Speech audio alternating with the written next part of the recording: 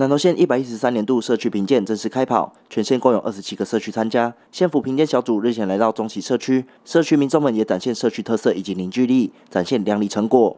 那我们在这边今天的评鉴呈现方面呢，就是由我们的台湾梦的一些小朋友来为我们做一个开场的演出。那我们中旗社区呢，我们的三大服务内能量哦，就是以我们的老人福利，还有我们的儿少福利。啊，我们的社区规划哈，美化这个部分为主要的一个区域的哈。啊，那是我们这边就是谢谢我们的南投县政府以及我们的立立法委员友浩这边，还有我们的政工所啊的资源，谢谢他们在我们的社区投资于我们的社区，让我们的社区可以这样子一路的成长过程，这样子非常的很有意义。县府社会及劳动处社会行政科科长吕建昌表示，中旗社区从一百零七年加入台湾梦计划，获了中国信托每年一百万经费以上的补助，照顾综合国小二十多位小朋友。另外，在主乐器发展的部分都非常优秀。未来相信社区能够持续茁壮与成长。啊，中旗社区哦，它从一百零七年叫做台湾梦计划哈，获得中国信托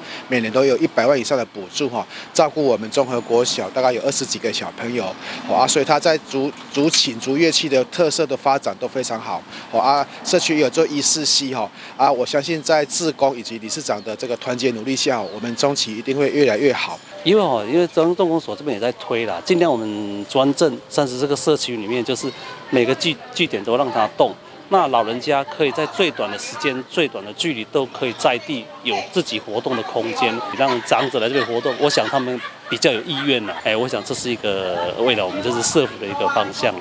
县议员蔡梦娥表示，社区的存在是非常重要的一环。现今青年朋友们都在外打拼，更显得社区的重要性。能够丰富长者的生活，又能多元学习，未来在议会将会全力支持社区发展。社区是一个很重要的一个元素。长辈呢，二时囡仔拢出去壮阔，最主要就是啊，会当来社区家，啊，甲人家出去隔壁安尼，帮开讲就是因上重要的所在。所以梦娥一直讲，咱社区一定爱。